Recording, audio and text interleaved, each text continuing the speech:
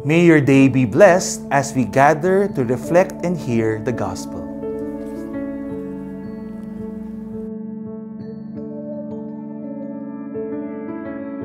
A reading from the Holy Gospel according to Matthew. Jesus summoned his twelve disciples and gave them authority over unclean spirits to drive them out and to cure every disease and every illness. The names of the twelve apostles are these. First, Simon called Peter and his brother Andrew, James, the son of Zebedee, and his brother John, Philip and Bartholomew, Thomas and Matthew the tax collector, James the son of Alphaeus and Thaddeus, Simon the Cananean, and Judas Iscariot who betrayed Jesus.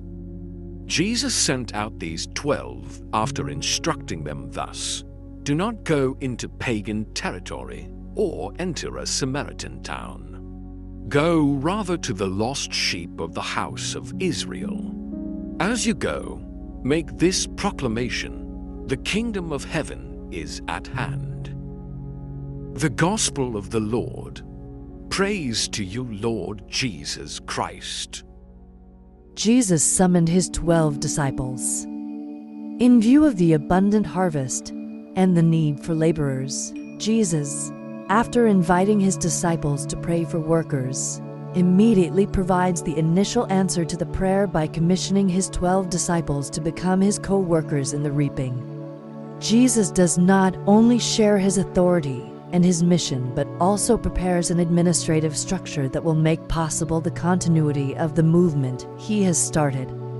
12 alludes to the 12 tribes of Israel that constitute the people of God. In the choice of the 12, we have the inauguration of the new Israel. The Twelve are an important group who, because of their close association with Jesus, provide the continuity between the historical Jesus and the early Christians. As the original witnesses, they guarantee the fidelity of the community's beliefs and practices to the teachings of Jesus. We're grateful for your presence in today's reflection. Carry the word you heard and forward the blessings to everyone you meet today. This is Father Albert Garong of the Society of St. Paul, all for the Gospel.